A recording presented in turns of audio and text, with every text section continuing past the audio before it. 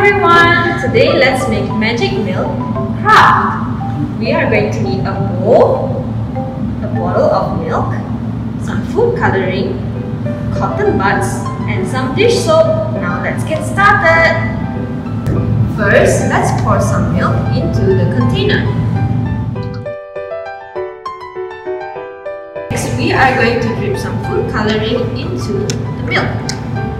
Let's use a bit of green, pink,